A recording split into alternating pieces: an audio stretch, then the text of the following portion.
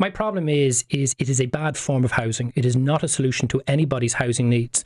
And I challenge anybody: if I could provide you with a good quality studio apartment uh, of 45 square meters for 900 euros a month, which is what Sinn Féin's proposals would allow, versus a car park space for 1300 euros a month, nobody in the right mind is going to choose the co-living option. That's why we need to scrap this from the statute book. And no, but the co-living option actually exists. Some people might doubt whether yours would actually exist. Well, it, it would exist if government legislated for it and funded it. And the difficulty is is that uh, you can't have one uh, uh, and the other side by side. And again, look at what our artistic community are saying. Look at what our young professionals are saying. Look at what students are saying.